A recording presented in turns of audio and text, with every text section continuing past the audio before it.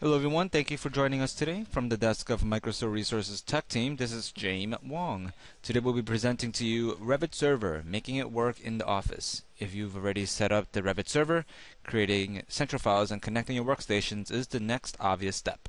We'll be using the same virtual environment and continue our Revit Server implementation.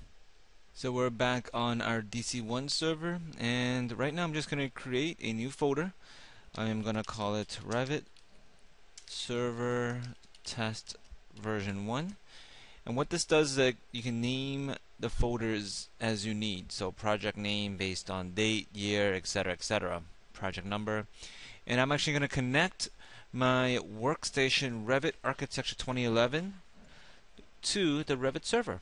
So I'm going to start up Revit Architecture 2011 ensure that everybody in the team and in the company has the same Revit build that's very important Let's go ahead and connect the Revit architecture to our server right now. And just click on the Collaborate tab. And inside the Collaborate tab, hit and Synchronize. And there's a Connect to Server. You can select your server name. Um, it's already connected to DC1, or you can change it to DC2, whichever you like. And you click Connect, and then you hit Close. Okay, now that we actually set up the workstation, let's go ahead and click on Basic Sample Project. We're just going to create a sample project right now. And we're going to take the sample project and dump it over to our Revit server. And let's see how that's done. Well, first thing, we're going to go to the Collaborate tab. And we're going to click on Worksets. So enabling work sets and work sharing allows us the ability to create central files as opposed to working locally. And click OK for that. Alright, and that's about it. The next step is to actually save this project onto our Revit server. So by in order to do that, we're going to click on Save As save as project and instead of browsing to your D drive, your Z drive, or whatever drives you, you have mapped as in the traditional method, what we're going to do right now is on the left hand side, we're going to scroll over and click on Revit Server.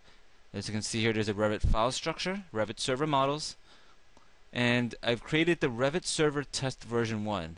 Let's click on that, and this is where we're going to save our um, project. We're just going to call this a rs underscore test 1 and let's click on save. And it's going to save on over to our Revit server which is on DC1 right after you finish um, saving the file onto the Revit server you have in essence created a central file. It is highly recommended that you close this file before you continue working. Um, I'm actually going to close the entire program out just for safe measures.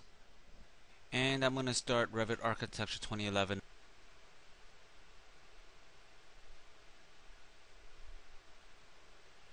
I'm going to go into the file open.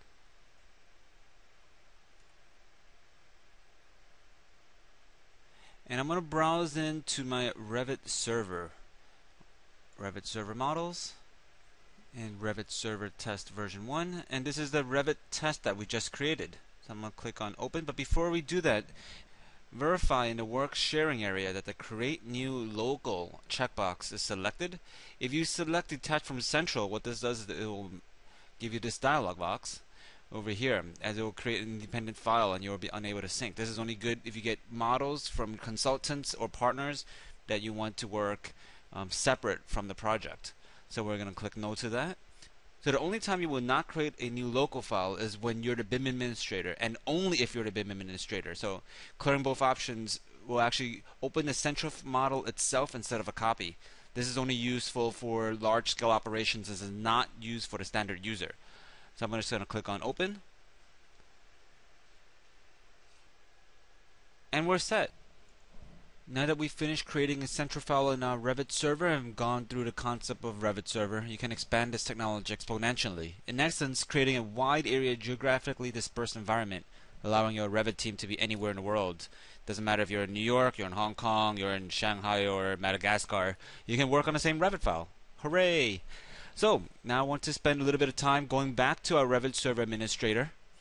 And where when problems happen, all your BIM administrators out there will be scratching their heads and trying to figure out what went wrong. All BIM admins will need to be able to access the Revit Server's web access portal.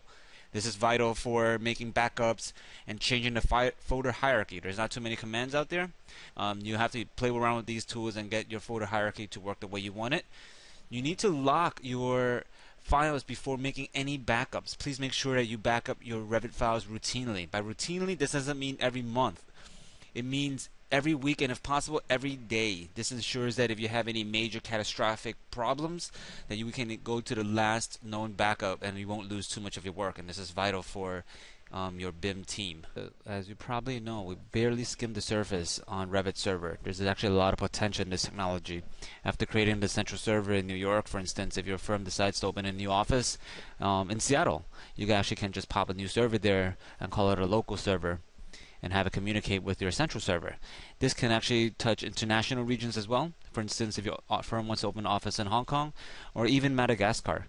As long as all the servers have adequate bandwidth and to talk to each other, your Revit projects and your Revit team will be able to work seamlessly.